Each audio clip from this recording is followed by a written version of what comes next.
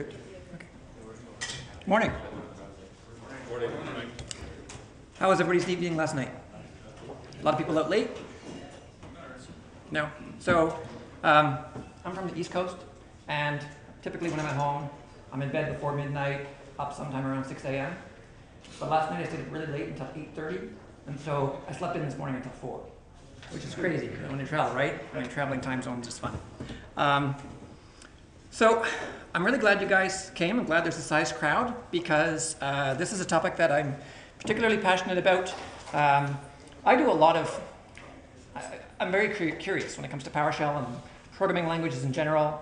And so I do a lot of uh, deep dives when I start thinking about crazy ideas. I wonder how this works. I wonder if I could do that. And I go down the rabbit hole and I disappear for a few months or sometimes a few years and come back up later on with something neat. Um, and so this is one of those neat things because I've gone down the rabbit hole a few times. And I've talked about this topic at some other events in the past where afterwards I feel like I flew a plane over their head at around 50,000 feet. But those weren't PowerShell specific events, so it wasn't necessarily the right target audience for this kind of presentation. So I'm really glad to bring it here. I hope you brought your thinking caps. Um, when, when I'm doing content at any session, doesn't really matter if it's PowerShell related or not, uh, I take questions at any time, and I'll try to do my best to answer those questions during the session. And if I can't, I'll push it until the end, or maybe do a sidebar outside of the session and, and figure stuff out. So feel free to bring questions up at any time as I'm going through this content. And, uh, and yeah, hopefully you guys have fun and uh, it'll make you think a little bit. So the topic today is domain-specific languages. Um, Press the button. I press the button. Yep, we're good. Thanks. So, um, domain-specific languages are interesting to me because they offer a lot of value above and beyond what you get from, from native PowerShell. And so I want to talk about, I guess, a bit of a history of DSLs in PowerShell, and, which is relatively short, and, and a bit of an ongoing experiment. Um, first, for those of you who don't know me, who am I? My name is Kirk Munro, and back in well, pre-2006, uh, I used to work on MAPI and LDAP layer programming inside of a product called MessageStats at Quest. And then I went to an Exchange 12 conference here in Redmond, where they started talking about this thing called Monad, and kind of got bit by the bug because all of a sudden I could make guesses and be right 80, 90% of the time, and that never happens in MAPI or LDAP. So, so that really kind of piqued my interest, and ever since then I haven't looked back. I've had my career totally focused on PowerShell for going on 10 years now. I grabbed the nickname years ago, Poshoholic. If you want to contact me for anything, that's my Twitter handle, poshoholic at gmail.com, poshoholic at hotmail.com, poshoholic.com, anywhere that I'm around on the web. That's typically the name that I use. Um, aside from a few places, so on GitHub, you'll just look up Kirk Munro. Just be careful of the spelling of Munro because it's not one of the more common ones. Um, and you'll find my content up on GitHub up, up there. Um, but that's kind of how you can reach out to me. So, so I mentioned we're going to talk about domain-specific languages, and I'm going to do a couple of different demos uh, showing you the kind of things you can do. And uh, I need to bring all of this with a bit of a caveat. So this is experimental because there is no official public domain-specific language support in PowerShell today in version 5. They started doing stuff under the covers with some public .NET interfaces in version 4. That's where it first, first started coming to light. Uh, some domain-specific language work was done prior to version 4, just using functions and, and, and what you could do with PowerShell commands, and I've done that. But experimental is key on this because it's not a fully defined process. So I wanted to bring this here to you to get you thinking about it and to start discussions, maybe make some relationships that continue beyond this event that you guys can talk to me about stuff uh, or collaborate on different things on GitHub and whatnot and see where we can take it because I think it's really interesting and very compelling with what you can do with it. So even though it's experimental, it's worthwhile bringing to the table to talk about now. So what is a domain-specific language? Excuse me. A domain-specific language, um, this is just from Wikipedia, it's, it's specialized. So it's domain-specific and it's, it may be an entire language. You might have a domain-specific language that is off on its own and the only thing you can do is what is defined for that domain. But it may also be embedded within another language in the case of PowerShell, because PowerShell, you have commands, functions, aliases, and all of that goodness. But then you can also embed these little mini languages that you can intersperse with regular PowerShell and that give you uh, some benefits above and beyond what you get from normal PowerShell commands. So that's, that's what I'm going to be talking about, is that kind of an integrated language. Um, yeah, so they're not general purpose, they're very focused on a particular task. Um, why are they important? They're important because, well, these four reasons. So simplicity. Domain-specific languages can take something that would be very complicated to do normally uh, and might require a whole lot of code otherwise, and boil it down into a very simple presentation so that you can digest it and consume it and do things with it. Familiarity is key because you're coming from, um, often with a domain-specific language, you're working with a certain set of concepts uh, and features and, and keywords and different things that you have in mind from what the top area of topic that's being covered by the domain-specific language is. And so you can bring those concepts in and use them in a familiar manner just so you can make intelligent guesses and do the right thing. Uh, power, because you can, they typically, they obscure a lot, a lot of code behind the scenes with just a very small package. And structure. And structure is an interesting one. And it doesn't apply to every domain-specific languages, but it applies to a lot. When you're dealing with structure, um, well, Key domain-specific languages in PowerShell today, desired state configuration. You're dealing with structure that defines your network infrastructure and how it's laid out.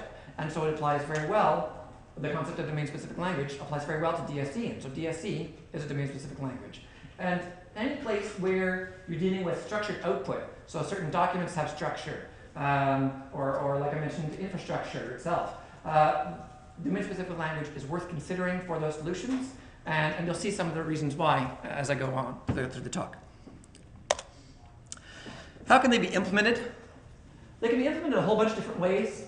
So I started tinkering with domain-specific languages back in PowerShell version 1, I think, um, about just using functions and aliases and commandlets and defining things on the fly and doing a lot of metadata programming. Um, they also could be implemented using native functionality in PowerShell 4 or later. Um, and so the key piece to that is System Management Automation Language Dynamic Keyword. Dynamic keyword is a class that has a bunch of static methods, and that's where all the magic is intended to happen. And that's that was added for the purpose of DSC. But technically, when they added it, they didn't really talk about it a whole lot because it was only half baked, and they didn't really want anybody going into it and figuring it out. And I ignored all that, went into it and figured it out, and and figured out what was missing and added stuff. And and so I've done a lot of tinkering around the name dynamic keyword, and my stuff is still in a in progress state. So I'm going to show some things that are not published on PowerShell Gallery but are only on GitHub right now because it's still evolving.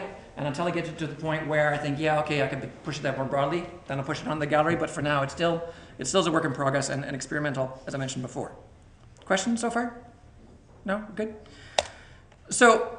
Um, uh, the first demo I'm going to go through is uh, the first domain-specific language that I wrote in PowerShell, and that was back in uh, my PowerGUI days. So PowerGUI is a PowerShell editor from years gone by, and uh, it was created by Quest. And back when I said I started working on PowerShell, I was fortunate enough to hear about this team at Quest working on this product. So I changed from MAPI and LDAP stuff to doing PowerShell by joining the PowerShell PowerGUI team and did development and then evangelism and architecture and eventually product management on it before they put it on the shelf because it was free and not making money for them, and, and they didn't like that. Um, and so during that time, and there were two versions of it. There was Power GUI and there was uh, the, the VESI for Virtualization EcoShell. And they were both the same thing. One was just a skin version of the other. How many people, by the way, know Power GUI in the room? Great, okay. I ask it sometimes and I see like two hands and stuff, and so I'm thinking, oh, really, it's that old? But no, this is cool that you guys still uh, know about it. So, yeah, so the, back in those days when I used to work on Power Packs and adding Power GUI, for you don't, who, those of you who don't know, um, one of the features it had was a management shell-like user interface that was driven by PowerShell. So you could add nodes and, and put your data in the middle and have actions for the data on the right-hand side, much like you see in MMC and modern management tools. And uh, with that, I did some tinkering with um, some domain-specific language work, and I'll show you what that looks like. So the first thing I'm going to do is load this PS1 file. And just to show you how old this is, um, I haven't gone and brought this forth into the world of modules yet. Um, this is just a uh, PS1 script file that I dot source because it contains a lot of functions and it doesn't use a lot of the modern even PowerShell version 2 features just because it's, it's that old. But I still keep it kicking around. I intend to bring it forward with this DSL work that I do. It's just not quite there yet. But it's interesting to show that you can do this using the old PowerShell techniques uh, of doing things. So when I load it, it adds all these huge amount of functions. And it's all about Visio, right? So um, it's fun when you're working with Visio to do automatic generation of documents based on something. Uh, and the most common example that I used to do back in the day was based on your infrastructure, specifically on your virtualization infrastructure. So I could take this and I could automatically generate uh, infrastructure of, well, VMware at the time, that's what my focus was when I, when I started doing this work. And it would show your host and then all the virtual machines all lined up in this diagram that's drawn on the screen for you while you run the command. And so it's kind of, uh, I guess, sexy in terms of technology, just in terms of seeing the, the UI show up on the screen while you do it. And, and it, it was fun to do. But if you look at these, this is not domain specific because these are just PowerShell commands for dash now. So you could go through and create Visio documents using these just like you could any PowerShell set of commands today. Um, and that was useful, and I did, I did it this way intentionally, and actually this is probably how I would create a lot of DSLs, because this allows me to do one-off things by having the verb-noun structure, but if I'm doing something entirely from scratch, and I'm not just taking a Visio document that already exists and going in and tweaking something on it, that's where the DSL comes in. So let me show you uh, an example of what that looks like. So, um, yeah, I'm not going to show you this file. I mean, you guys can look at this file, and I'll share all this content. I'll send it to Richard, and he'll make it available to you. Um, so this file contains the, the Visio commands. By the way, um, just on the experimental line, these commands, I haven't, I haven't gone through and tested this a whole lot with PowerShell version 5 and Visio 2016, just because it hasn't been a high priority for me, but I still have, I've got it working for Visio uh, 2016 and PowerShell 5. So if you run the stuff and you find bugs in it, that, that's not a surprise. Don't don't be don't think well who's why is it releasing this stuff if it's if it's you know in this state. Um, technically, I'm not really releasing it. I'm sharing it as a set of examples and the kind of things you guys can do with it. And so take that caveat and, and feel free to experiment and take a look, but don't necessarily build your production on it and have your manager come upset when it's not working. Um, so an example of how this might look in uh, the DSL. If you notice, let me flip back for a second. The, the key piece, the entry point into the DSL is right at the very bottom of the set of commands. So that alias of Visio to the use Visio command. That lets me jump into this kind of magic. So look at the top example up here. You can see the structure of the document being defined in the language itself. And so this is where domain specific comes to play, right? Because I'm working with Visio, so the domain is Visio, and anywhere where I'm dealing with Visio elements, those are the key points that I'm going to be talking about in my structured domain-specific language. So I can create a new, I can open up Visio with the Visio command, and then I can define some defaults, the default background and the default page theme. And by the way, the default background doesn't work in 2016 right now, it just generated warning. Um, and then I can go and I can create a new document. So then you can see I go into this document with a script block. And in that document, I create a page. And then inside the page, I set the background and the diagram style and start tinkering with the properties. And all of this using something totally different from verb-noun that lets me kind of really just look at the points using terminology that I'm already familiar with in, inside Visio. But at the same time, I can intersperse regular PowerShell because it's just PowerShell. So all I'm doing here is running PowerShell, even though I have this domain-specific language, and even though these commands that show up, like default page background and page and all those things, are defined on the fly as I run this upper Visio command, so that I can, all, all it's doing really is taking aliases to the, that huge list of commandlets that I had, right? So I'm just, as I go inside the Visio, the first thing I do is define a bunch of aliases to the things that are relevant at that point in the hierarchy. And then as I go to document, the same thing. And so I kind of control scope and visibility just by doing some alias turning things on and off. And then inside of that, I can intersperse PowerShell. So here, I have some script that's just going to work, with my file system. I'm not really doing anything like large scale infrastructure, and, but I can. Just, this is a simple example where I want to show you how this works. So I'm going to take that, and I'll run it. And if the demo gods are next to me, it'll work. And by the way, the reason why I'm running this inside of the outside PowerShell session and not in ISE is, again, the whole experimental thing. I can throw this away and continue with the rest of my content without worrying about it being mucked up. So I'll just copy and paste that in. And why did I paste like that? Hang on. Right click paste. Better. So now it's running. And you see Visio opened up in the background. And let me see if I can quick go to it. Where'd it go?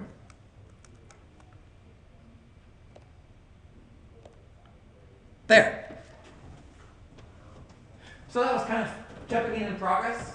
But that's the kind of magic that happens because it's doing a lot of auto layout on the fly, right? So you can picture this being larger, going across a whole lot of infrastructure, maybe going to a huge set of Hyper-V hosts that are discovered through SCVMM, or going into Azure and integrating virtual machines, or anything related to just figuring out what you have for your infrastructure. And doing things that you have to do to create documents that kind of manage that and show that to management who doesn't get PowerShell and doesn't know how to go and ask that, those kind of questions. And giving it to you in a way that's automatic. And so you run this kind of a command, and it just goes and does the PowerShell work to interrogate the system, and then generates a document on the fly. And that's, that's the magic of, of a DSL. And, and this is, again, just using the old school PowerShell functions and commands. And if you look at another DSL that's out there, Pester, Pester doesn't use, as far as I'm aware, the dynamic keyword stuff. They're just using functions and commands inside and aliases and whatnot to make the magic happen. So, so this allows you to, to do that without getting into what I think will become the go-to way of doing domain-specific languages going forward. Cool? Could a provider be considered a domain-specific language? A provider could be, but it's, it's generalized. So going back to the definition, I mean, domain-specific, because it's kind of both, right? Because a provider is uh, specific to the way that you access the different data silos, but yet generalized because it covers so many different silos, and anybody can create a provider for any source. So yeah, it's a great question, and I was thinking about talking about providers, but I kind of hesitated because it, it, it's a bit of both, I guess. Because you have get command, get child, or get sorry, get item, get child item, you know, all those common sets of core commands. There's like 30 of them, and they work against providers, and so that's specific to the provider model. But there's no domain specificity, specificity, specificity to the uh, specificity, you, to the internal silo that you're working with. So if you're working with uh, SQL Server, the only parts related to a domain you might see are the labels, like tables for the tables containers. You, know? you might see some of that show up in the structure, but it's not, not quite um, the same thing. So, uh, oh, and also, going back to the same Visio example. So here's another example. And this is just showing, backing off a little bit from the, from the domain-specific language itself, how I could call directly into the commands to do the same thing. And I could technically write this using the commandlets, but I like the declarative nature of the structure for things when, so that when I'm drawing out in my head the diagram of the content, I can sort of draw it on the page just using term, this terminology. Useful? Yeah. Good. Um, so back. Now I just got a whole series of demos, so I'm going to jump back and forth between slides and, and demos. Um, so that was my first language that I uh, did domains for, and so as I mentioned, that was back in the GUI days. And th- this is fun, you know. My son did this long, long time ago, when he was a kid, because he knew I was really into GUI, and so he made that for me one day when I was away on a trip. It's kind of fun. Kids are great, right? Because you just learn so much from how they how they do things differently than how we do things. So my son's into automation, but not at all using PowerShell. His kind of automation is in Minecraft, where he creates these huge farms to generate these blocks that he uses throughout the rest of his world's Minecraft. And he's uh, he's on YouTube, and he's got his own channel, and he's got like 100 videos posted. And so his automation, I don't understand at all because I look at those blocks and the redstone and how that all connects, and I wonder how's he how's he wrap his head around that because I don't want to read text.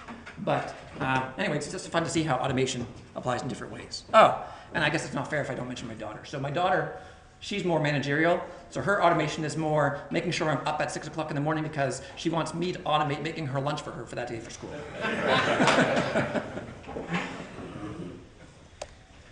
so another demo. So let's talk about the I would have said class. yeah. So the, the class dynamic keyword. So let me uh, jump over to the second one. So the dynamic keyword class is it's a, a public class and it's controlled by a bunch of uh, static members. So I'm just going to run these one at a time. So it's available in PowerShell version 4 and later. In PowerShell version 4, you're not going to see all of these because there's a couple new ones that are added. I'll get to that in a second. Um, but you can you can get the members. You can use get member static to see what's available on it, and then uh, let me just jump back. So by default in PowerShell, there are no keywords. If you want to see what keywords are uh, available in the system. You just run get keyword, but by default there are none.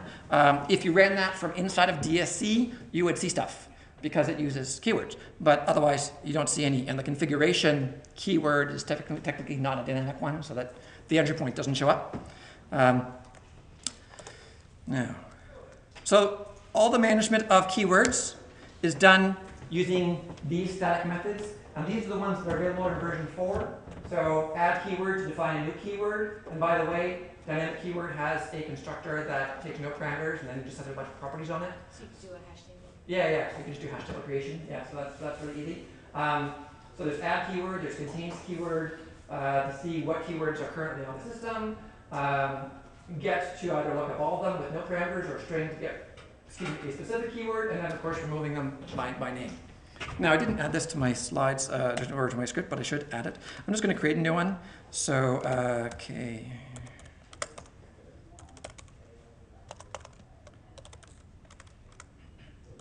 Yeah, I'll- do it without the hash table just so you can see the, the properties.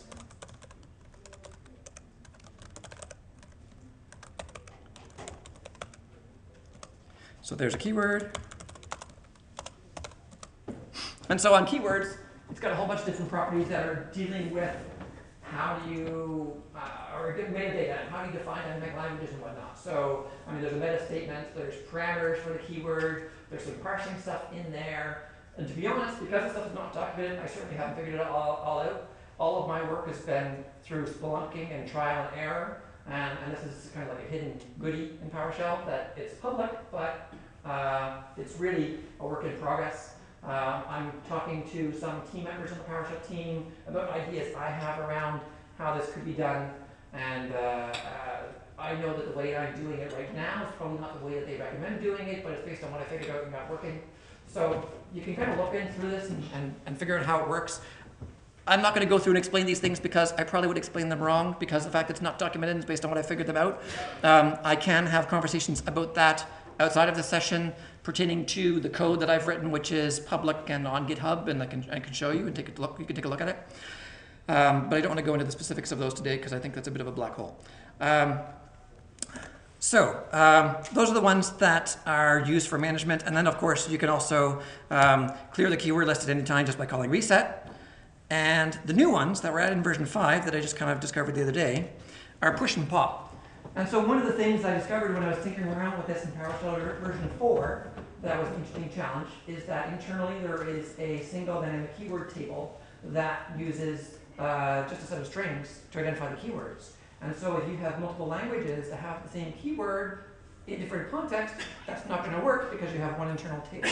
So that was one of the challenges that I had to work around. So I created my own table, and I'm constantly shifting keywords in and out of the table that is currently being used by the language in the work that I'm doing. So if you look through my code and see some of that stuff, that's what that's there for. Since then, version 5, and I might shift my work to version 5 because I'm just trying to move forward with where the stuff's going. Um, typically, I'm the kind of guy who likes to do down level support as much as I can, but this is so half-baked that I'm eager to move it forward and leverage what they, what they do with it going forward. But push and pop, which I haven't tinkered around with yet, I can only guess, uh, actually I looked at the code using Reflector, um, that what they do is one takes the current set of keywords and pushes it down a level so that you can start with a brand new set, which is important when you're going through different layers of script blocks inside of a language, and then pop as you come back up those layers. Um, for folks who aren't developers, can you talk about like .NET Reflector and ILSpy? Sure. They're really easy to use and you don't need to be a developer to understand either, to use them or to understand the output. Yeah, so it's a great point. So, I mean, everything these days, or, or so many things these days are going open source. You see all the news about different parts of, of uh, different modules in PowerShell going source, and different parts in .NET going open source, and Xamarin announcements, all this goodness. They're publishing the source code so you can just go and read it. But what about when you don't have that source code? So PowerShell itself is not open source. You can use tools like ILSpy or Reflector. Reflector is a commercial tool, ILSpy is not.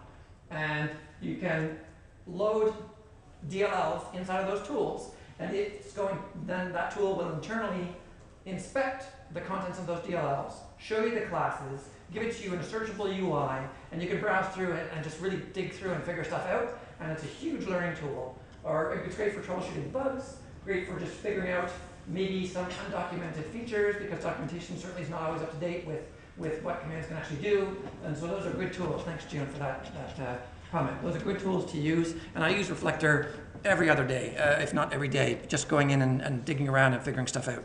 And power comes from uh, understanding those things. Now, um, so that's a high level look at what Dynamic Keyword has to offer in terms of an interface. And uh, there's a lot of functionality that I still, I'm still working on, like I mentioned, but I'm happy to work on with people if people want to work on that with me. Let me change. Yeah, no problem. Uh, so that's the dynamic keyword language. And so now that, or class. Now that I've gone through that class itself, I want to talk about how that class and how work I've done with that class allows me to redefine how DSLs are created. So I work on a whole bunch of modules, and these days all the modules I work on, I put the suffix of px at the end, which px kind of looks at a glance, maybe if I split, like rx, kind of like, uh, you know, remedies or prescriptive solutions, and that's what these are. So a lot of the modules I create, I actually all the modules I create. So you'll find if you do a search for star px on um, the PowerShell gallery, you'll find a lot of content from me. And on GitHub, some things that are not in the gallery yet, like language px, uh, that's, that's my solution. So I create this module, language px, and I want to show you what that allows me to do. Who here knows about uh, Doug Finke's import Excel module? Have you guys seen that? A good number of people. So import Excel is cool because import Excel is also about doc creation. You know, you've got content and you want to push that into, an Excel spreadsheet and maybe have some pivot tables and some charts associated with that and do it in an automated way. And so Doug's been investing time and effort in there and that's been quite popular and people really like it. And so when he first started showing that content and showing the commands that are available, I immediately thought of the DSL work because of the work I've done in that space. So let me just load that module up. And I'll show you what the, the uh, command set looks like. So it's got a whole bunch of commands in there. Um, you know, stuff dealing with ranges and stuff dealing with, you know, additional tests and Excel charts and plots and, and pie charts and all these different things. And uh, so that's the functionality that's available in the module. But when he first released this, the key thing that he was showing was one particular command. He was showing the command export Excel in some demos that he did, that he threw up uh, quick videos on Twitter. So export Excel allows you to take content and export it from PowerShell into an Excel document. Much like export CSV, you can export to a CSV file. And if you look at it, right now it's got a lot of parameters and more being added over time as he adds more and more features to this. this. And so that that's interesting because it allows me to do what I want to do, but I really don't, personally, I don't love the dash this, dash that, so on, having to use a splat, a splatting to get the work done with all these different parameters. I prefer thinking about Excel documents in, in structure, and the structure that I'm creating them in.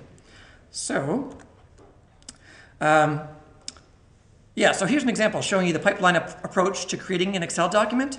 So I'm just going to call get process, and then I'm going to uh, export that into uh, an Excel document uh, with a with pivot data showing up pivoting on the working set size, uh, pivoting on rows. I'll, I'll have the name for the rows in my pivot table. It's going to include a chart, and so I'm going to run this.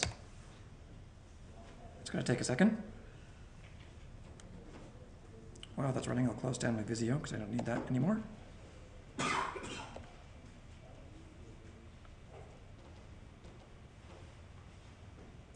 So this is going out and just getting the processes on my system and then using uh, .NET library that's inside of this uh, module.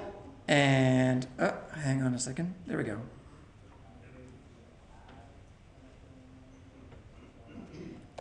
That's interesting. I just updated this module like yesterday, and I wonder if that's why. Should not have updated it before the demo. I didn't really update this one. I did update dash module, and I got all of them. So, uh, okay, so plan B. So I don't want to troubleshoot this right now. I mean, I did a debugging session yesterday, and that might have been appropriate for doing some of this content, going through these errors. Um, but so I'm not going to troubleshoot that just this this, this second. I'm going to keep talking about the structure and the language and how, how I think that I've been able to improve on it. Uh, oh, you know what? I wonder if it's because I got the document in my system. Where's my path? My documents test.xls. Uh,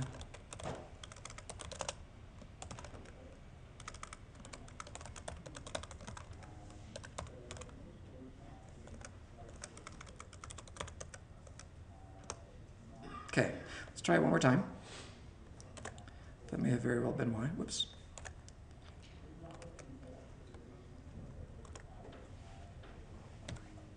Try again. By the way, I don't know if you noticed when I just uh, made that shift there back to this. So um, PowerShell drives are crazy, pop, crazy powerful. And if you are finding yourself jumping back and forth in locations inside of PowerShell a lot, I recommend that you go into your profile and create PS drives because they allow things to be done much more easily than usual. So I have, there we go. So I have um, inside of PowerShell this uh, documents drive for my My Documents. I have modu- uh, modules for my modules folder. All modules goes to program file slash all uh, slash um, Windows PowerShell slash modules and so on. And so I use these to jump around my file system a whole lot. And feel free to email me or ask questions about that if you want to know how to set that up because it's a, it's a big time saver. So there, that was why, because I had the file already on disk. So it creates this document, right, which is kind of interesting. So it's got a bunch, it's got a big table here showing a bunch of uh, processes on my system. I mean, the data is not really interesting because it's a, a ugly pie chart and uh, it's not really that meaningful. But I wanted a simple example. So that's that works today, and uh, I'm not going to save it, and I'm going to make sure that that doesn't exist anymore. So that that kind of shows you the the uh, process working uh, just inside of uh, a regular PowerShell like syntax, and then you can switch right, and so you can switch to splatting. And so splatting is interesting because all of a sudden when you're dealing with large command sets, you can boil that up into this nice little hash table. So you see params, and then I've got a bunch of uh, values. And if you don't know the way splatting works, when you see on the line 26 right there, get processed by export Excel at params, at params tells PowerShell, take that hash table, and anything that are keys are parameter names, and anything that are values are the values that I'm going to use for those parameters. And so it makes it nice to be able to take something long, like what you see on line 14 that runs off my screen, and shorten it up in a format that you can see in your document. So I use splatting all the time for that reason.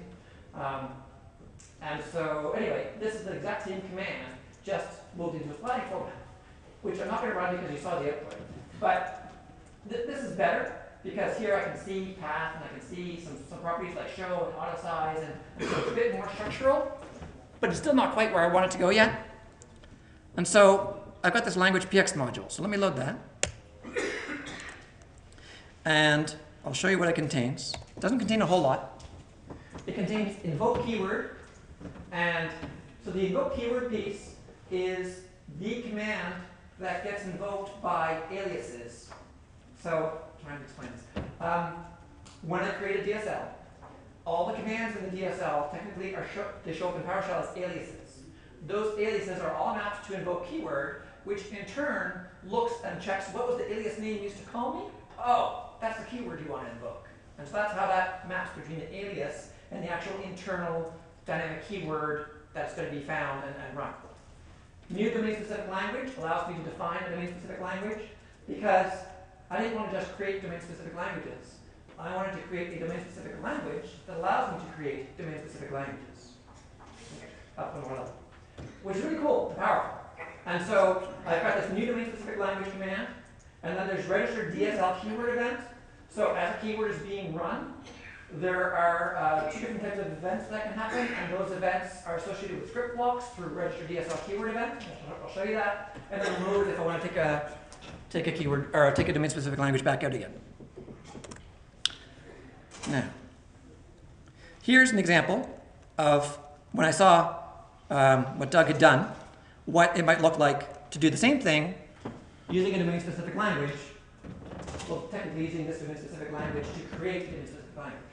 So I can define with a new domain-specific language, which is part of language PX, a language called ExcelPX, and then inside of that, I've got Excel.magic, and these are just arbitrary Yeah. values I pick, right? So Excel.magic is what it's going to be, but is, is the name that I gave this language. It takes a name. That name field is actually the name of the document that it's going to create. And then it's got some properties that are general document specific properties, like do I want to show it or not? Do I want it to auto size or not? And then it's got the data, so pivot data. And inside the pivot data, I've got row properties and the aggregate value for the pivot data and whether or not I want to include a chart. And which is kind of fun, because when you look at this versus the other syntax, the command syntax, including a chart only applies if you're also including a pivot table. And you learn that by looking at the documentation for Doug's command for export Excel, and you can figure out, okay, well, I can't, I can't do dash include chart unless I'm doing dash include uh, pivot table. But a syntax like this makes that implicit because you have a structure. You can't find include chart unless you're inside of pivot data. And if you're inside of pivot data, that's because you have a pivot table. So this allows you to make sure that the pieces are lined up the right way in, especially when you're dealing with commands that have very large sets of parameters. This allows you to kind of wrap it up in a bundle and, and, and make it look uh, better.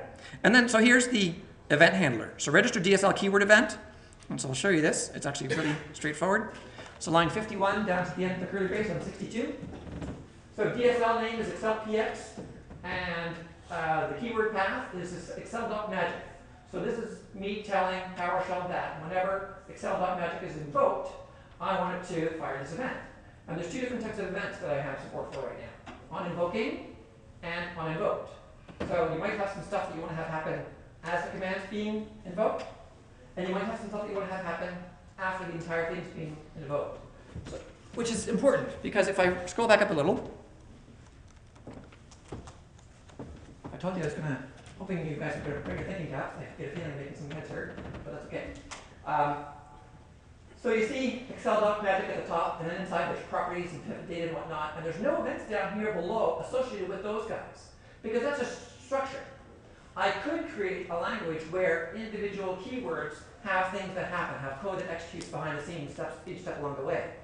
But I might also create one where really all I'm defining is structure, and then at the end, I'm going to take that structure, which is just a hash table of hash tables, so you know I can just step through it and, get information from it, and then do things with it. So that's what this scenario is, on invoked. After the entire thing is done, this Excel.magic command runs, I'm going to invoke this action, and the action, all I'm doing again is, you know, the splash table I showed, or the splat table I showed you earlier? This is just building a new uh, hash table, splat in to import Excel. Questions? So, within your structure, which level are the keywords? Is Excel.magic the keyword? That's the first one, yes. Okay, okay, but then properties and pivot data are also keywords? Correct. Okay, And so that's, because of this nested structure, that's where, that, that's why I was happy to see that they added push and pull, or uh, push and pop to the, the uh, dynamic keyword object, because you have to deal with the fact that you're dealing with different scopes as you go down deeper and then come back up again. And so those, that's exactly how that is defined.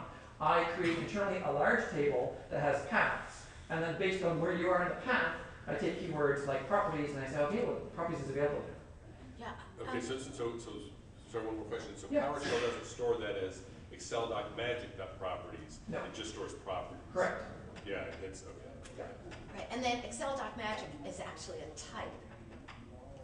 Uh, no, it's actually a keyword, it's not a type. It, it's a keyword. Yeah, okay. so this is the, all the Excel Excel.magic and properties, and then show and auto size. So there's differences. Some of these are properties. So where you see, we have, I'm, I'm following a syntax that looks like C sharp, right? So Boolean, and then some values, or strings and some values. And so I support some very common yet primitive data types for associating values in property bags. So properties is defining a property bag that will have .show and .auto size on it. And if you look below, where I have my hash table, show equals dollar sign underbar dot properties dot show. Right, Right. I'm, I'm all good with that. Um, um, name follows Excel Doc Magic, right? Yes. So what I'm wondering is, so all of that is, is the value of name? What is na, what is, Oh, so if look, go down a little further. So, let me, I'm stuck on name, that's okay. yeah. So Excel Doc Magic, here's the execution of that syntax up top. So name is just my past my XLS file. So I'm just giving it an oh. identifier. And then internally, I can refer to that and actually do stuff. So in my code. Yeah, but, but when you go, can you go, scroll up to that function, I'll tell you why I was confused. Yep. I might not be the only person, I might, but I might not be the only person here. In all other cases, when you have something like row property name, its type is string, and string precedes it on the line, Right. right? So it's, so the pattern here is the name and then the value, right? Correct. So, so it's, sorry, type, the Right. return type, and, or the type of the property and then the value. Yes. And Excel Doc Magic precedes name, so I'm thinking that that's a type. Right. I But get it's what you're saying. actually a definition of the keyword. It's act- well, it's actually a property of the keyword. So when you have a keyword, uh, so this is again all new experimental stuff, and so these are great points. Um, so Excel Doc Magic is a keyword. It has a property called name, which is just arbitrarily a string. That's the way that I've figured out how to do things internally. And then inside of Excel Doc Magic, it creates two other keywords, properties and pivot data. And each of those keywords are just property bags that have values that are type associated with them. But the actual properties or parameters, they're almost like parameters for, for keywords like Excel Block Magic. Those are just, just strings, they're just arbitrary, so don't think about having to type those the way this works right now. I only use types in property bag. I could probably update this, um, to have more of a bracket structure with, with types and values, if that would work. I have to think about that. That's good feedback. Does that, does that answer your question? Make It sense? does, yeah, Okay. thank you. Yeah, I think some of the confusion might be that, that maybe we didn't realize new domain-specific language is language PX, Yes. not part of the, uh, system management automation language dynamic. I mean, it's not built in piece of No, it's part of. No, it's part of language PX, and internally it implements and uses the dynamic language keyword, right? So that's how I'm doing all, all of my magic to make this happen. And so, yeah, down here I register the event handler to do work, which is just calling the same code I had up top. And then at the bottom, you can see the syntax to actually go through and, and run that. So we could just call Excel.magic. In name, I give it the name of the file that I wanted to actually uh, work with, and then I just set the properties and go, and it, it, it's done. Which I like the syntax. I mean, how many people see the value in a domain-specific language syntax versus just having verb dash noun commands? Yeah, Yeah? Okay. I mean, it's a preference thing. A lot of people think, well, yeah, but I really get verb dash noun. That makes more sense to me, and they can use that, which is great. And it still works, especially if you wrap the, those in your DSL so that you can use either or, uh, which you can here. Um, but I, I like the DSL syntax. I think it makes a lot more sense um, is when you're dealing with structured information. And it allows me to separate getting my values and getting my content for my structured document from the details describing the document itself. And Sorry, one more question. These are, as far as PowerShell is concerned, the things inside the curly braces are script blocks, right? I mean, it's, Yes. it's the same deal like Pester or, Yep. or, yeah. Yeah, I, I noticed when you registered the DSL, you actually have the get process. Would you ever abstract that, or would you create specific keywords for a particular action? Oh, yeah, so I could. Um, as well, I mean, this is right now, you're right. This was a sim- simple example, kind of a proof concept that I put this together when I saw Doug's work. Um, just kind of showing what you can do. But you're right. Ideally, get process should happen external to this because you don't want to bake your data into the DSL itself uh, so it's locked down. You're right. So can, could, I don't know, can you put parameters into the action script block, or? Well, yes, so you can, you can have more than just name, or I can have, uh, I could modify the DSL itself so that inside of my, um, inside of pivot data, that I define a data set, and that the data set goes there, right? So inside of there, I could have, um, uh, some pivot data and then define my, my data value and have that equal to get property, so it's pulled outside of the DSL itself. Object or something? Yeah, yeah, so the different ways to structure it. Yeah, I, I think the fundamental question there might have been, can you have parameters in an event handler? So no, Right. Right now, you That's- can't. Yeah, your, your event handler is taking the data that you get from the structure of the DSL itself. So your, param- the way you parameterize that is by having the DSL have some argument or some value that it can work with, and then internally, your your event handler is going to know to take any data source and data type and, and do the job. And so we're right at the end. I'm just going to go through one more thing really quick, just showing you an example of. Uh, uh, hang on. Oh, yeah. A more complicated example. So, one of the things that I do, I work for Provance Technologies. Provance Technologies does IT asset management, and now we do IT systems, uh, full IT system management. And so, within that work, we've done a lot of work with uh, System Center, and we plugged into uh, Service Manager, and we have this whole solution of asset management of Service Manager. And one of the things that we wanted to do was add auto close functionality, which is a really straightforward feature that's just missing in a service manager. But I didn't want to just create a management pack the normal way because creating management packs involves XAML and XOML and compiling workflows and building DLLs and a whole lot of steps that are just really complicated.